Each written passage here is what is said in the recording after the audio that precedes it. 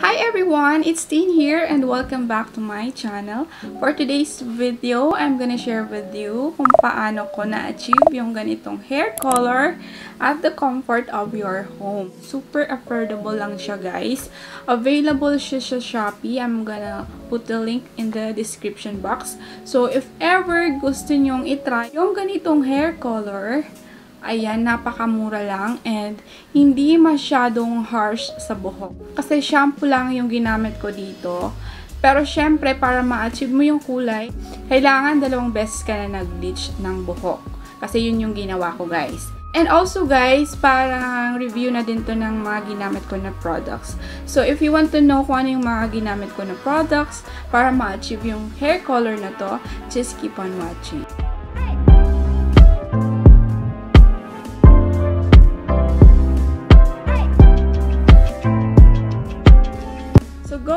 Guys, yung ginamit ko na products ay um, walang iba kundi ang uh, Fusion Ultra Blonde Purple Toning Conditioner infused with argan oil, conditioner for blonde, silver, ash, or highlighted hair.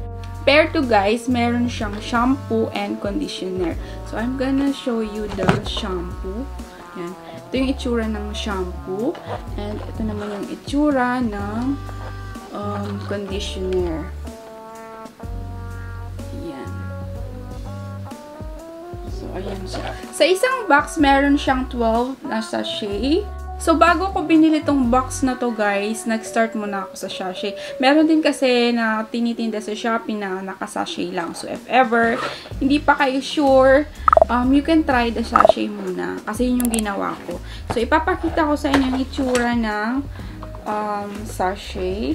Ganito yung itsura niya. Okay. Ito yung purple shampoo.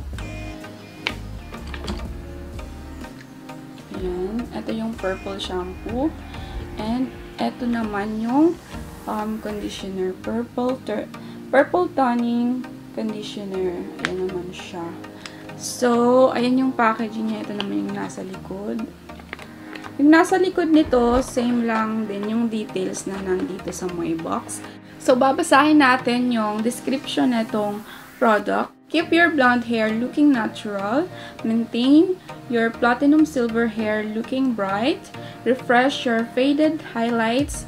Purple helps eliminate the unwanted yellow colors from the hair. So, yung benefits na number one makukuha mo dito guys ay um, yung hair color mo magiging look natural siya. Tapos, yung mga highlights mo na nag-fade. Yan parang mare-refresh niya and parang natutondo niya yung pagka-yellowish ng hair. Tapos guys, hindi siya nag-iiwan ng residue. Kahit yung damit nyo is white color, hindi siya mag stain doon. And meron siyang direction for use here. Apply to wet hair and massage and into lather. Leave for 3 to 5 minutes. Rinse Repeat if necessary according to how much color correction you need. Always follow with Ultra Fusion Purple Conditioning Shampoo or Purple Toning Conditioner and use once or twice a week. Paano ko ba siya ginagamit? Um, araw-araw ako guys naliligo pero dalawang beses lang ako or tatlong beses lang ako nagbabasa ng hair or nagsha-shampoo. So, the rest, half bath lang siya. Hindi ko binabasa yung hair ko, kaya medyo matagal siyang maubos. Kapag inaraw-araw nyo kasi siyang ginamit na nagsha-shampoo, okay lang naman, kaya lang, ano, nakaka, ano siya, mas madali siyang mauubos. So, ipapakita ko sa inyo yung yung result niya na ito lang yung ginagamit nyo. Ipapakita ko sa picture na ito lang muna yung ginamit ko na dalawa. So, ayan. Nakikita nyo dyan sa screen na ganyan yung result niya kapag ito lang yung ginamit mo. If ever gusto nyo na super kita yung, yung purple na kulay, hindi nyo siya babanlawan masyado. Ibababad mo siya ng up to 5 minutes para mas maiwan yung pagka-purple niya.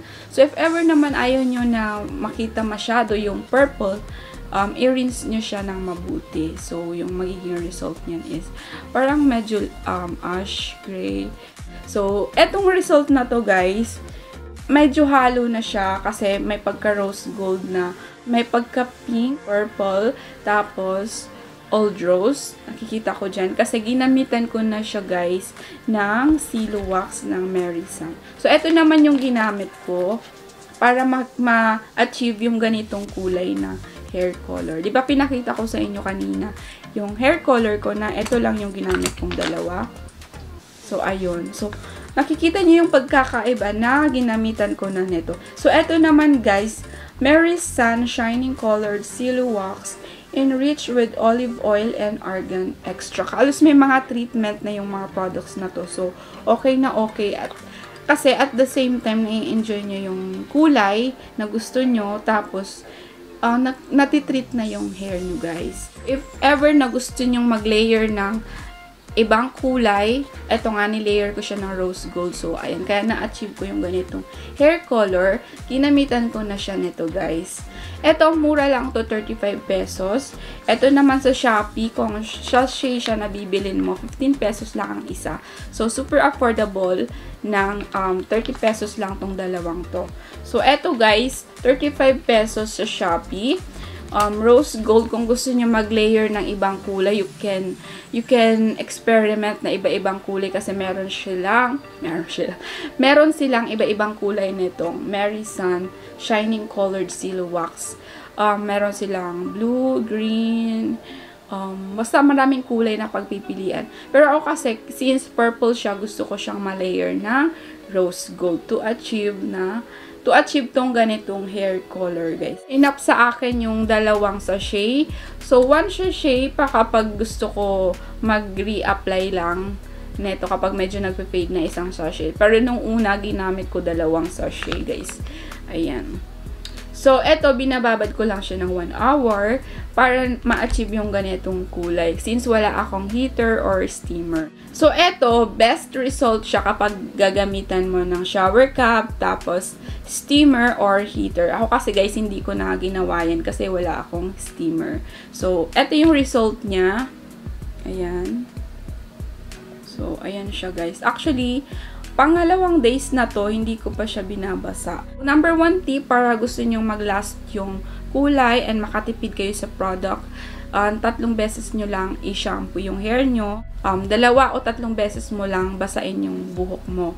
And the rest, hindi ka na magbabasa ng hair para mas matagal and para mas makatipid sa product. So, so yun lamang guys. Overall, nagustuhan ko tong mga products na to as in. Napakagandang gamitin ng mga products na to lalo na kapag dalawang beses ka na nag-bleach. As in, lilitaw talaga yung color. Ayan, malilayered mo talaga yung, yung color na gusto mo. Murang-mura lang siya and quality pa. So, kung nagtitipid kayo, pwedeng pwede to kasi mabibili mo siya ng tingi. So, yun lamang guys for today's video. Sana nakatulong tong review na to. And, ayan, kung bago ka pala dito sa aking channel, don't forget to subscribe and click the bell notification para updated ka sa mga susunod na video. So, that's it for today. Thank you so much for watching and I'll see you again on the next one. Bye!